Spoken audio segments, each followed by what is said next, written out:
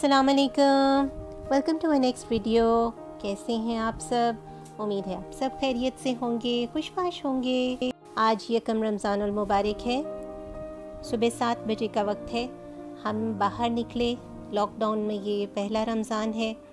तो सोचा आपको भी दिखाते हैं कि लॉकडाउन के दौरान लाहौर ने रमज़ान मुबारक का इस्तकबाल किस तरह से किया।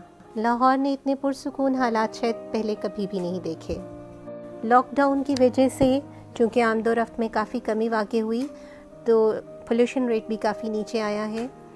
फ़िज़ा निखरी निखरी, धुली धुलाई, साफ़ सुथरी दिखाई देती है। एक आम फ़र्द भी इस तब्दीली को वाज तौर पर महसूस कर सकता है। वरना पहले तो ऐसे ही महसूस होता था जैसे इनहेल करने में हम ऑक्सीजन नहीं, बल्कि सिर्फ़ स्मोक ही अंदर लेके जाते हैं।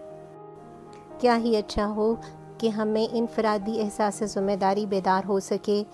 और हम सब अपने तय इस ज़िम्मेदारी को समझते हुए कवानीन की पासदारी करें तो हमारी फ़िज़ाएँ यूँ ही हमेशा सदा बहार साफ़ सुथरी रहें और हमारे प्यारे वतन को भी अंदेशा जवाल ना हो।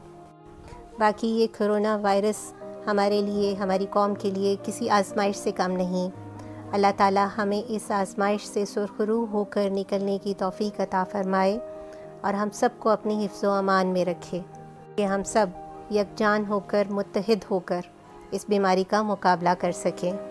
पाकिस्तान पर अल्लाह रब्बुल इज़्ज़त का ख़ास करम है और दुआ है कि ये करम हमेशा बना रहे।